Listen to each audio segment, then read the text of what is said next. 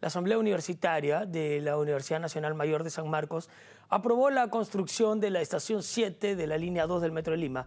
La rectora Yeri Ramón manifestó que esto se aceptó luego de que la Autoridad de Transporte Urbano presentó las modificaciones necesarias para llevar a cabo el proyecto mencionado. Bueno, precisamente contempla la construcción de dos pozos de ventilación, cada uno de 600 metros cuadrados, así como la estación San Marcos con una extensión de 2.044 metros cuadrados. Además, la rectora de la Casa de Estudios estimó que las obras iniciarán el próximo septiembre y culminarían en diciembre próximo del 2025.